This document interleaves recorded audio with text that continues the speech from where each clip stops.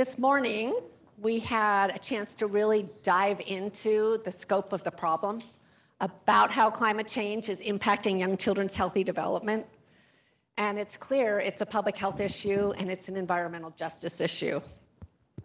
And we also got to the solutions pretty quickly, um, which, as we learned from our framing panel, which was also just amazing, where we really need to focus. Um, so for the next few hours, we're going to dive more deeply into the solutions. Um, we're going to start um, with looking at some of the initiatives, levers, and investments happening at the national level, and then we're going to transition to a similar conversation um, at the local level. And I'm thrilled that Dr. Joan Lombardi will be here to share some reflections about what she's heard. We're then going to have an opportunity to hear from a leading children's health expert Dr. Frederica Perera from Columbia University, who has authored an amazing book, Children's Health in the Peril of Climate Change. You'll all be getting a copy later on this afternoon.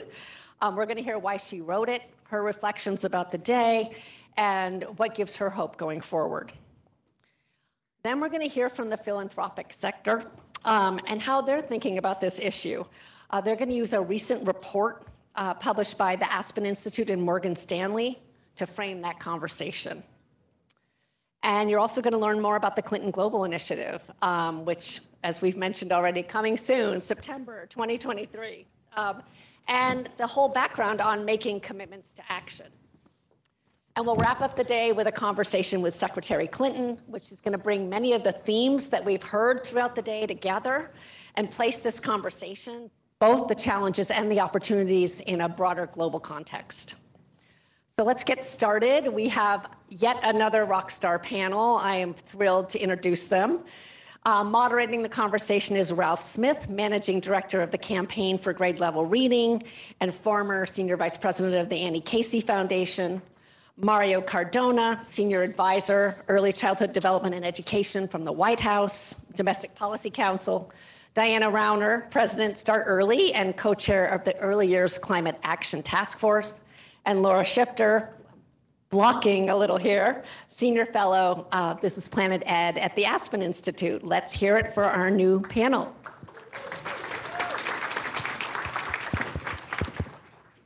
Good afternoon. I am delighted to be here. Now, when I say that, uh, many of you may think, well, it's the appropriate thing to say.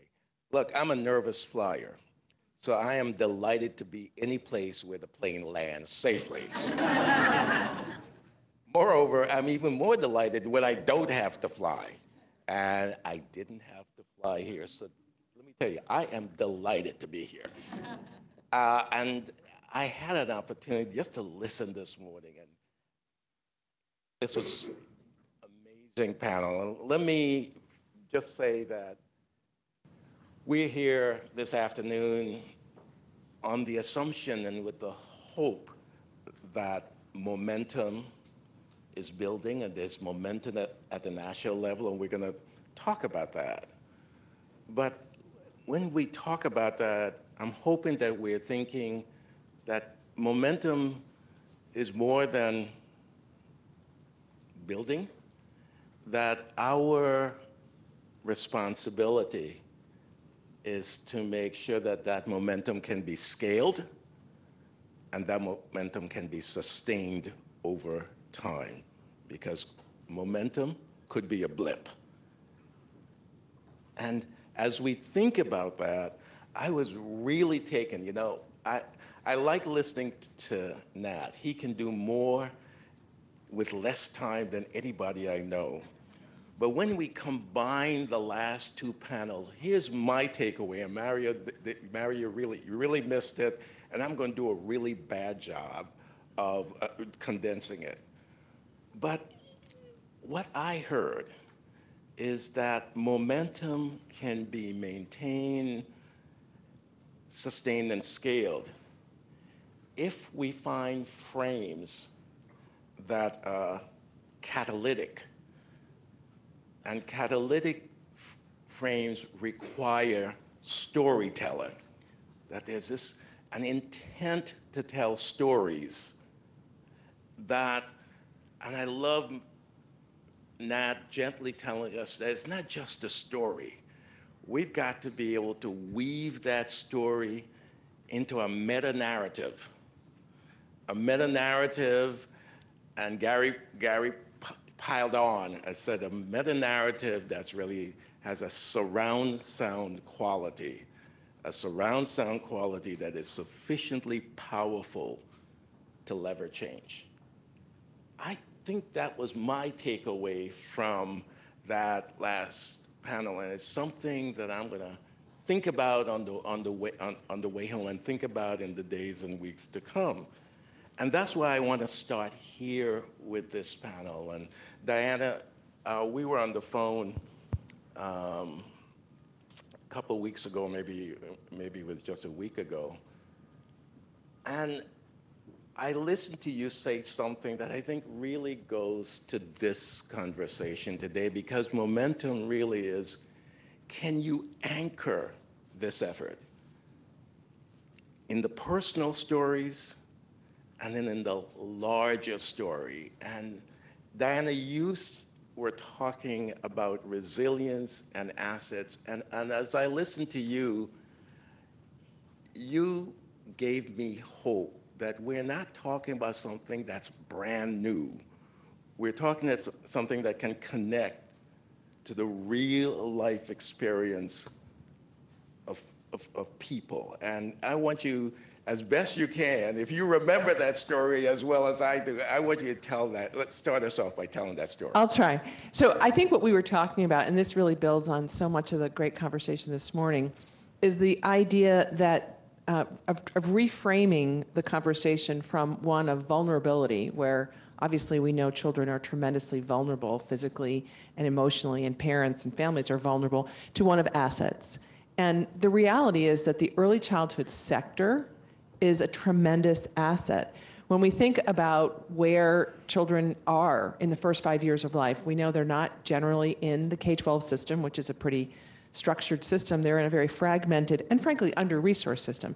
But it's a system that has tremendous trust between children and families. It's a system that really meets families where they are and provides what they need. And we were talking, when I was talking about this reframing of let's talk about the early childhood system as an asset in building really the kind of um, not just resilience, but actually strength, um, social strength, and social capital that we need in order to survive as a species. Um, uh, Ralph said, Well, can you think of any examples? And I was like, Well, yeah, the last three years. So if you think about what happened during COVID, um, really, of course, it was, it was a tremendously challenging time, but it was the um, Head Start programs, it was the home visitors, it was the people on the ground who provided the connections, both the material supports, whether it's food, diapers, formula, or and the the relation the, the trusted uh, conduit of supports and relationships that kept families together. It was hell on the system and on the sector and on the workforce, but people rose to the occasion to do it. And I think it speaks to the asset that is the early childhood sector and the importance of thinking about that as a critical and Adrian said this so much better last or early before lunch, but thinking about that as, as the critical foundation for what we have to have in our country in order to survive as a species, survive as a, as a, um, a, a as a nation, and really to prepare, prepare ourselves for the coming challenges ahead. I think that's it's important to know we can do this because we can. We can do this because we have. And what we have in front of us is a challenge to do it better and make it more sustainable. We, we've, we've done this, and that, that's what I took away from that story. And I still, that's still my story. I love it. Um, Laura, we want to hear a whole lot about the task force, but not, not right now. Tell us a story that gets us, will get us back to the task force a little later. What's your story? So, um, first of all, thank you. Welcome, uh, everyone here. It's great to be here. Um, one of the reasons why it's especially great for me to be here is uh, I actually owe Secretary Clinton my meeting my husband. We bonded over the fact that she had just announced she was running for president, and that laid us on the path to getting married. um, and actually then uh, having three children. And that's probably one of the uh, biggest reasons I'm here is a mom. And when my, um, which I also feel like this story would be appropriate for this panel in this setting. Uh, when my oldest daughter was born, you know, as a new mom, I'm blasting way too many photos of her on Instagram. And I've given her the hashtag, hashtag LE2056 because 2056 would be the year that she would run for president. And so each, each of my children have their own presidential hashtag. Um, but it was about uh, four and a half years ago when the UN came out with a report on 1.5 degrees warming. I was sitting in my basement with my three children. They were playing down there. And I got news alert after news alert after news alert that we had a decade left to address climate change. Before this moment, I had always cared about climate change. It had been an issue actually Matt had bugged me about to care about more for years. And I thought it was some distant problem, something that those people within the environment sector would take care of.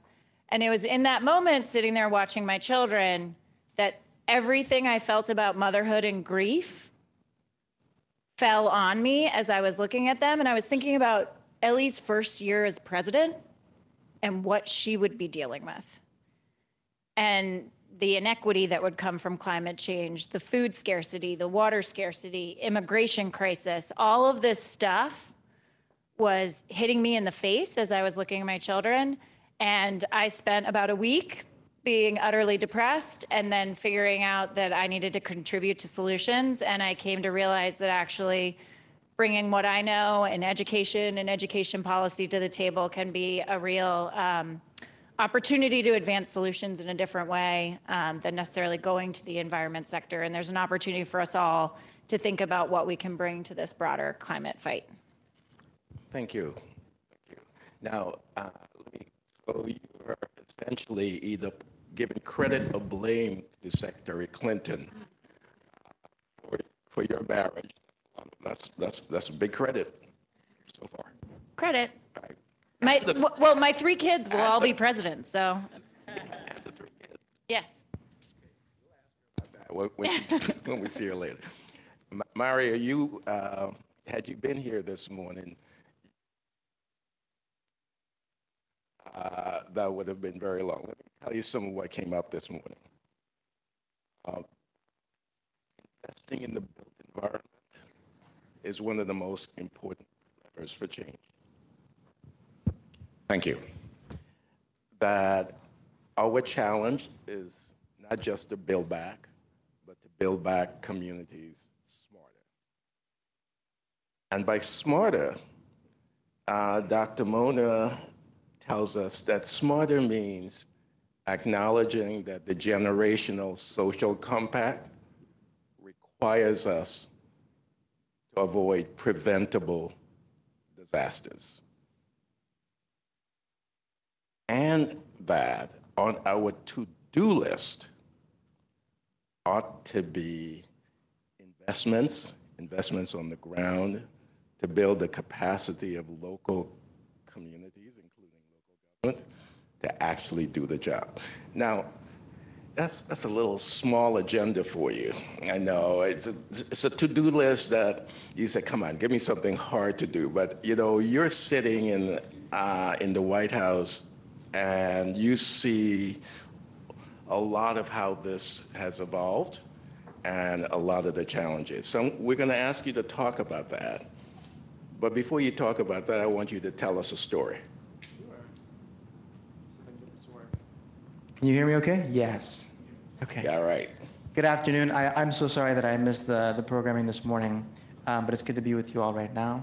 Um, so, my story and the reason why I'm here is because my, my mother was an early educator. And so, when people talk about um, the way the workforce looks and that it is predominantly women, predominantly women of color, predominantly women who are immigrants, that is my mother. Um, and she talked about the importance of early childhood since I was very, very little, um, and insisted that my children also have access to high quality early childhood education when, and if we ever had children, and, and, and we're lucky, our part, my partner and I do.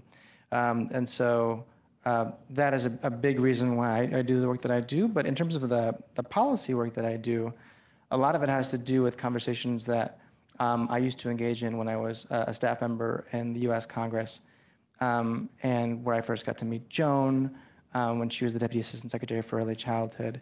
Uh, and when people would describe the way that the early childhood system worked at the time, um, and how, how little attention it seemed to be paid at the federal level uh, in terms of the environments that children were in, uh, and how little attention there was to the health and safety of those environments, or whether the quality of services that children received um, was a consideration. Um, and you know there was all this money that was being doled out at the federal level that seemed to have some influence in, in, in pushing some of those things forward.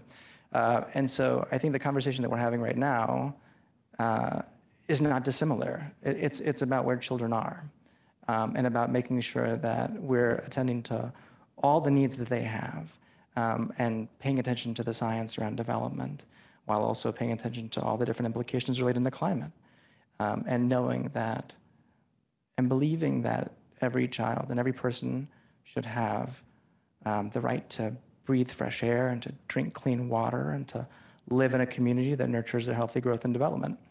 Um, and so I'm so happy to be with you all. I'm happy to have this conversation with you all. And I, I look forward to the agenda for the, the to do list of things that we should be doing.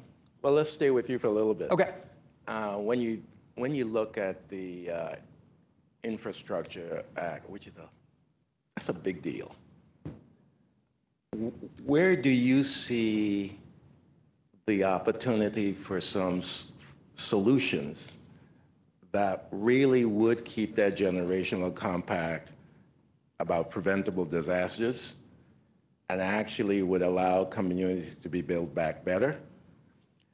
that would allow that building back better to take account of the disparate impact that climate is having on communities and populations. Wh- wh- What's, where do you see the sweet spot?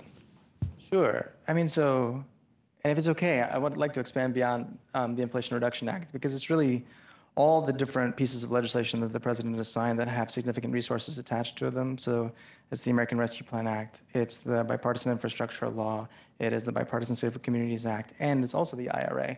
And so when you think about the implementation of the IRA, there are all these different resources that are included, historic levels of investment to address climate, um, and there are opportunities in there to uh, you know, help improve the environment that children are in, many of the implementing agencies are not in the business of early childhood. Um, so the Department of Energy, the EPA, uh, the Department of Transportation. And so um, to the extent that we can receive help from the outside community who thinks about this and would like to provide us recommendations around how we can implement some of those things so that children and families are front and center when they're implementing a lot of the investments relating to um, environmental justice or reducing emissions or improving air quality uh, in, in communities that have high concentrations of poverty, um, we could use your help. Because I'll tell you, at the Department of Health and Human Services uh, and at the Department of Education, they have their hands full implementing the programs that they have um, and would love to help out in thinking about how to implement bill and IRA and other things. But um, it's challenging. It, it, it's challenging. And so, like, if there are things that you all see from the outside, um, areas of connection, um, convenience that can be held, uh, if there are specific recommendations that you have in terms of implementation for some of those things, I think we'd welcome them. Um, and I will mention two things, two, that are invitations to you all. So a month ago, President Biden signed two executive orders in the same week.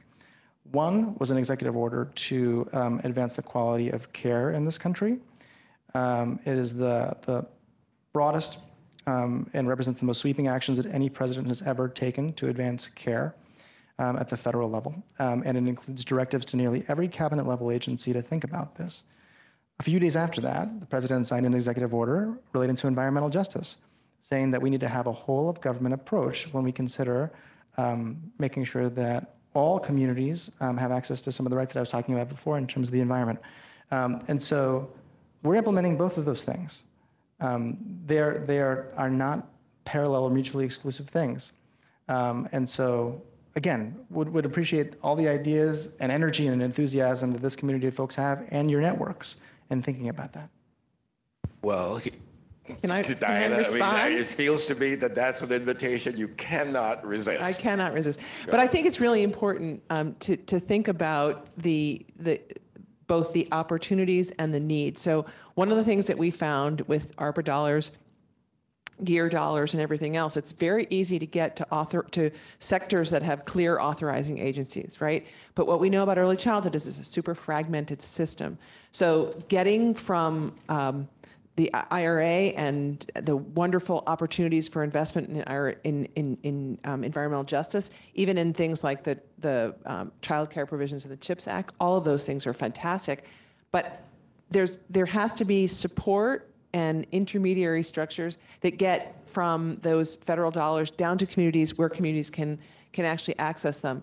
We'll talk more about the climate task force, but one of the things we've been doing is hearing from from people across the country if if communities themselves don't have the connections between let's say their infrastructure people and their early childhood people it's pretty hard for the early childhood people to access and be part of the climate solution so it all speaks to the importance of ensuring that as we move from the kind of scientific issue and framing this as a science problem, it's a social problem. When it gets to now the money's there, how we use it and whether we use it well to build the kind of um, strength in our communities is really a social issue. And that's where, okay, early childhood, we know how to do that stuff.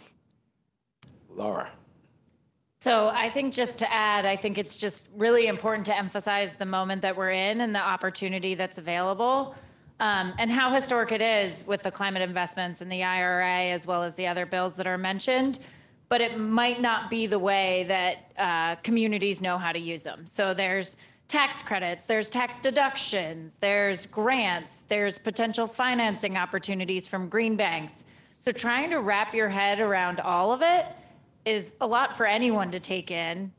And then trying to imagine doing your daily job as a child care center and then being expected to know how to do this. There's a lot of work that needs to be done. I think uh, Dr. Benjamin highlighted it in the first panel. We really need to do what we can to make sure people know about these opportunities because with the tax credits, with the tax deductions, they're a use it or lose it moment and uh, and it's not a grant. So if you're doing an eligible project, you get them. So there's really a lot of opportunity that we may, need to make sure that people are aware of. Yeah, and and we partnered on a piece that, if you all want to know, outlines the opportunity for the early years sector to take advantage of the Inflation Reduction Act in particular, and that's just one small segment of all the other opportunities that are out there too. I think you should hold that up again. And- and- and- Early years and climate provisions in the Inflation Reduction Act. And, and she has extra copies. I do have a couple copies. I do. And she might even have a link. Uh, oh, we do have a link too. Yes. All right. Now, now, this is a good moment. Mary, if you want to respond. I mean, so I will say that um, at the federal level, people are already trying to think about how we can create some of these connections between agencies who may otherwise not seem like they're they should be they could be strong partners. So in thinking about like the bill investments, for example, there are historic investments in that piece of legislation to help um, ensure that young children have access to clean drinking water.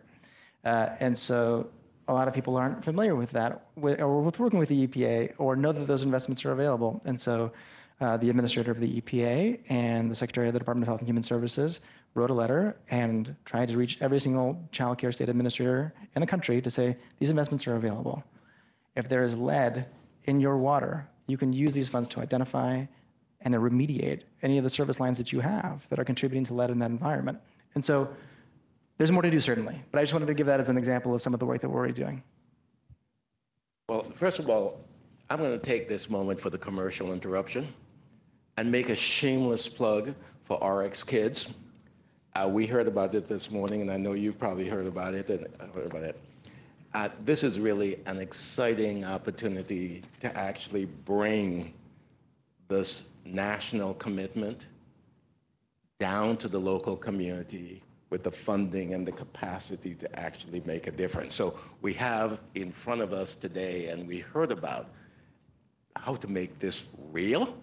So none of us can go away saying, oh, that was one story or another story, because when I'm going to ask, Laura, I think you were, it was a school district in Arkansas. Talk, t- tell us about that story.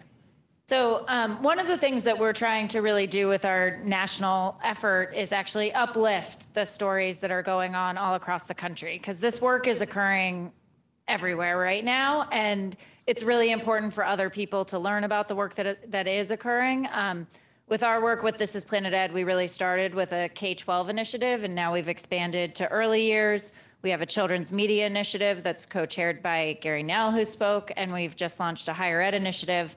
Um, but within the K-12 initiative, I, you know, coming from the panel that we heard earlier about how how to bring people into this issue and think about the politics of it.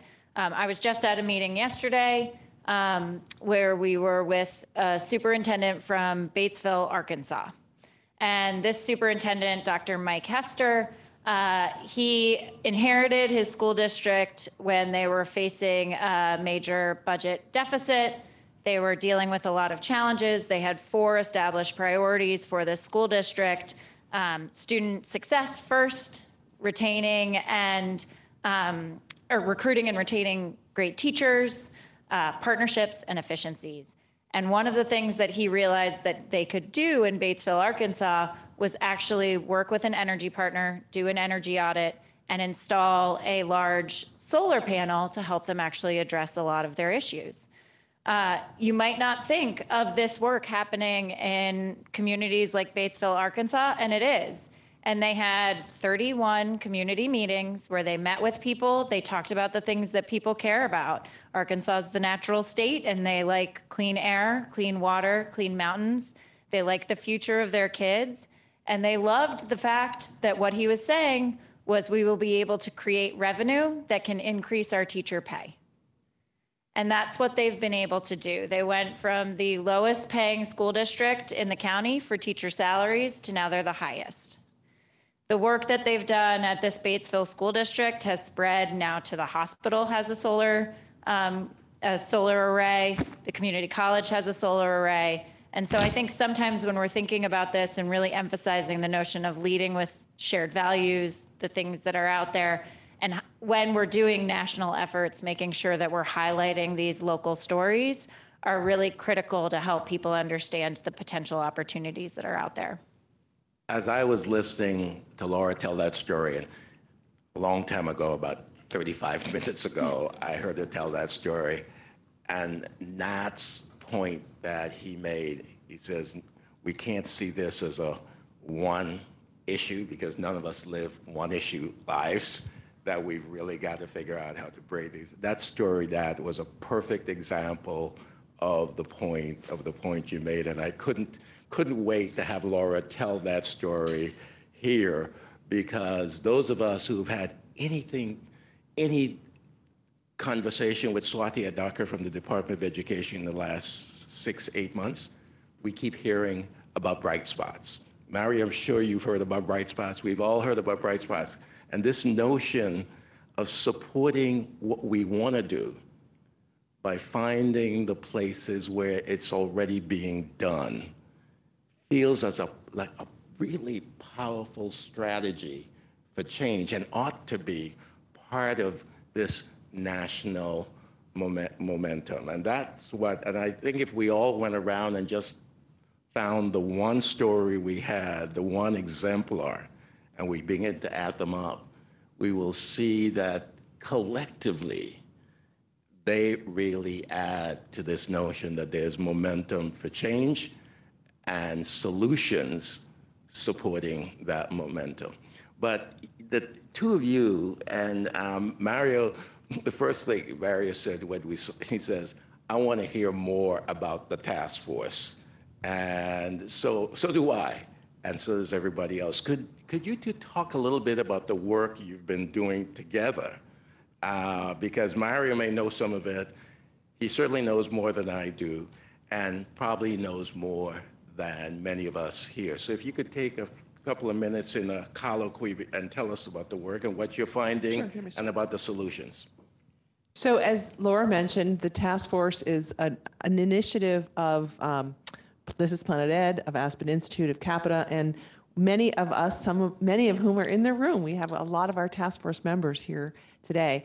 It is a cross-sector group that has come together both to learn about the challenges that are facing very young children and their families because of climate change, but really importantly, to develop a set of recommendations, which we are close to um, working on. We expect to del- deliver them in the fall of 2023 around how the early years sector can be a partner and an asset in the uh, in in what we know is a time of change and disruption for for us on this planet. And I think it's really important for us to address things in that sense. This is not. Um, we did hear. A, we've heard a lot and learned a lot about the health impacts of climate change on um, on early chil- on, on, on, on early chil- on young children. We've heard a lot about the mental health challenges of parents. But I think what we really are hoping to do with this report is to actually reframe the problem from one of these poor children are so vulnerable, we really have to worry about them. I think I'm trying to channel Nat a little bit in this, or and and and to this is actually the solution set right here. These very young children who, by the way, are going to grow up to become climate advocates, leaders in our country, and how, with everything that we know about early learning, everything we know about development, um, do we use this opportunity to build the strongest, most um, socially connected, most capable human beings that we can build so that we will all, as a species, be able to benefit from their leadership and their support. And if we think about the young children as an asset, and similarly, if we think about the early years sector as an asset, again, because it is so focused on relational health, because it is so focused on trusting, building trusting relationships with parents, and meeting their both um, practical resource needs, but also their needs for social connection and for support, then really we have the opportunity to make a case, again, even to our friends in the climate world who are still up here talking about, you know, methane satellites, which are very important, um, about the people in the equation and how we as a sector have something to contribute to the real need to change again, to, to see how the, how the funds, how the activities, how the change can happen on the ground. Yeah, and I think just to build on what Diana said, um, you know, uh, I have said this a couple of times when I've spoken. The UN Secretary General came out maybe a year ago with another report, and it said we are firmly on track to an unlivable world with the commitments that we have right now. And highlighted, we have a lot of the science, we have a lot of the scientific solutions, but we've lacked the social and political will. And I really think if we if we thought about actually supporting our children and young people in um, being empowered on these issues 20 years ago, we'd be a much different place in social and political will today. And so we have the opportunity to make that investment in our young people today, not to put it on them, but to empower them. And that's what we do. That's what we do in early childhood, K through 12, higher education, children's media, the opportunity to really um, help empower children and youth to succeed in a changing climate. Um, and that's what we're really focused on. Uh, this is Planet Ed more broadly, that children and youth have the most at stake with climate change and they present the most opportunity. And we have a responsibility um, to really help them succeed, develop, have healthy development in the earliest stages, engage in climate change and climate solutions in our K through 12 systems, um, being powered to succeed in the jobs of the future through higher ed and innovate and deploy new solutions. Um, and we all have a role to play in that. Can I just add one thing? One of the other really important, I think, values for all of us in the early childhood system has been, you know, early childhood has enough to do. We're a system in crisis. Uh, we're under resourced and have been forever. So what this isn't about is early childhood becoming climate advocates. It's really about the climate world being early childhood advocates. And that's a really important reframe because honestly, I think there's still a lot of our talking to ourselves and not yet enough of making the case for why early childhood and the sector and this time in life is such a foundational, important opportunity for addressing the climate challenge.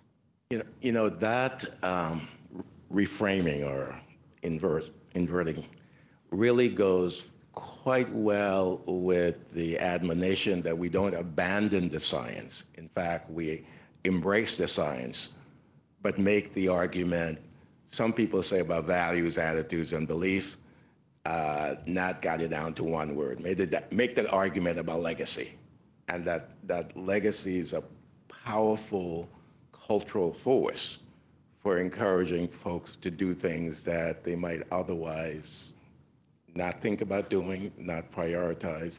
So when you say, what do you see climate activists doing differently if they became advocates for children? Well, I think a lot of this is about connecting. So at the local level, ensuring that that early childhood people, advocates, providers, um, leaders are at the table for uh, for planning, for infrastructure design, for crisis response. At the federal level, it's about ensuring that at every agency there's an early childhood person who's actually aware enough and and uh, conversant enough to actually be able to to make the connections and talk about where what does this mean for early childhood. We um, I think uh, Mona this morning said the dream would be that there'd be an early ch- a, a, childhood czar who'd be asking at every project, what does this mean for the next generation? I think that's really, really important. I- And and again, it, it isn't you know it, it's partially about early childhood sort of banging on the door saying let us in, but more importantly, it's about climate advocates and um, and and others in the infrastructure space saying we need you here. We need to hear from you. We need your participation. Yeah, and I think it's a real recognition of partnership, truthfully. I think one of the things that we've seen is the early childhood space has access and trust with communities.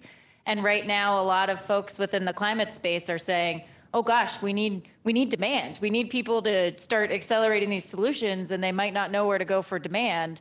Well, go to the people that are trusted in the community. And those will be your early care providers, those will be your pediatricians, and start talking to them and leveraging them as um, as communicators and trusted resources and parents too. Good. Yeah, got that.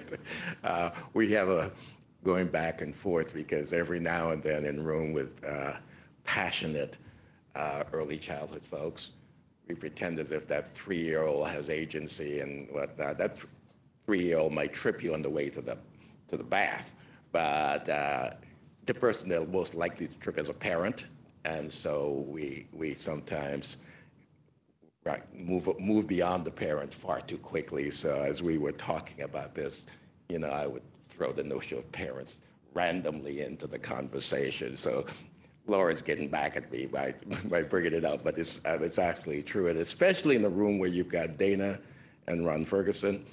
Saying parents is a really good thing because they got they will beat me to that if you don't. Mar- Mario. Hello. Uh, I really want to hear, uh, you've been generous. You've really been generous, not only with your time and with coming today, but you've been generous with inviting recommendations, inviting input and the like. I would really love to get your take on what you see as the two or three solutions that have the most power, but also would be accessible to input and guidance from the people in this room? Are there a couple of things on the list that you would say, hey, pay attention to this? Yeah, um, I think, you know, to Diana's point, having folks who are deeply engaged in climate care deep- deeply about the impacts that the implementation of all these different federal laws have on children is essential. And part of that too is having a deep level of sophistication around and knowing when the policy opportunities are in implementation. And so that means uh, being laser focused on thinking about regulations that may be coming out, notices of funding opportunity that may be coming out, guidance that may be coming out, um, webinars that like agencies should, be, agencies should be holding, all those different kinds of things sort of set the table for how these things will last well beyond this administration. And agencies are thinking about all of those things now. And so, to the extent that you all are thinking about things to do with respect to implementation of BIL or IRA, um, you should be talking to agencies now. The second thing is, you know, I think the point that Laura made was really well taken in terms of wanting to make sure that you're engaging the early childhood community because one of the things that the Department of Commerce did when it was rolling out its CHIPS and Science Notice of Funding Opportunity uh, and including the requirement in there relating to um, ensuring access to childcare for workers who are going to be you know, in these manufacturing jobs and making sure that you have uh, you know, a, a- an equitable workforce, um, is they talk to, to the early childhood community because they're like, we're the Department of Commerce. We think about industrial policy. However, if we're going to ask these big companies to help implement this, like all of it's not just going to be on-site childcare. Like, what else do they need to be thinking about? And then, so of course, the early childhood community is like, the children are in family childcare settings. The children and families need access to more supply in their communities, and there's insufficient supply. Um, we need to make sure that as these as these systems are getting developed by uh, employers, that they are building off of the infrastructure that exists in communities with respect to early childhood, as opposed to displacing it. All of those things were super essential, and that agency was very receptive to all of that feedback because that's not what they do all the time. And so, similar to this in terms of the climate work, I think that if you were to come and say, hey, Department of Energy, Department of Transportation, EPA, these are the things I need you to think about when you're talking about improving the air quality in certain places, or when you're thinking about, um, you know, some of the, the building and infrastructure work that's going to take place. Um, I'm sure you'll meet a receptive audience. I'm certain of it. Yeah, I want to underscore the importance of um, investing at the federal level in the kind of intermediaries and support that get to this very fragmented system. Because one of the challenges is, even with um, the great opportunities in the IRA, how are individual family child care providers going to access grants to put shade um, in their built or, or air conditioning or remediate mold? I mean, that's again, these are programs that don't have that capacity. Most of us can barely, you know, get our dishwasher fixed when it breaks. So, so thinking about um, the supports again that are needed at the community level to make sure that the money, you know, money sometimes federal money and, and, and state money flows um, into the deepest grooves first, right? We all know, and if we want to use, we want to build a more equitable system and also one that really reaches um, the, the the people who are working with a, with again the most vulnerable and also in the most fragmented system. We're going to have to be investing in the actual work that it takes to get that money to the right people.